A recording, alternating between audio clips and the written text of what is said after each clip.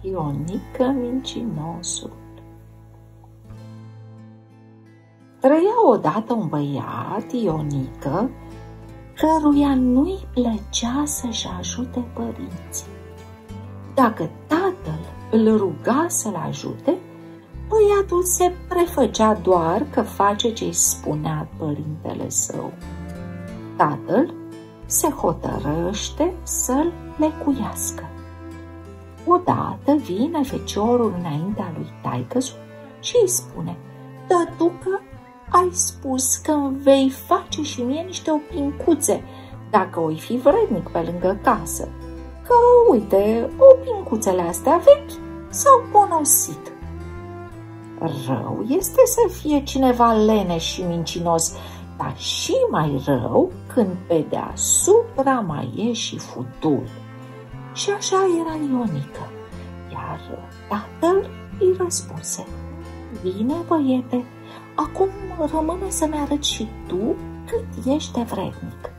Am să-ți arăt, ducă, spuse Ionică. Urcă-te chiar acum în pod. Vântură bine grâul ce e acolo și îndată ai să-ți primești răsplata. Pleacă Ionică, stă cât stă și pe urmă se întoarce. Am vânturat grâul tătucă să-mi dai opingile să merg pe uliță și să plesnească băieții de necaz. Nu e adevărat, se supără tatăl. Haide cu mine și am să-ți arăt că e așa cum spun. Se urcară amândoi în pod, vântură tatăl grâul în fața lui Ionică și când îl vântură, ce credeți?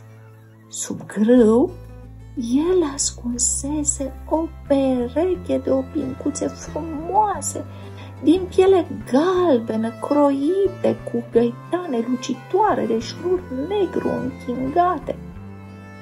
Și s-a plecat băiatul să ia opincile. Tatăl nu l-a lăsat, le-a luat din grâu, a coborât și le-a pus într-un cui pe perete, să vadă, să înțeleagă bine că minciuna are picioare scurte și întotdeauna o ajunge din urma adevărul.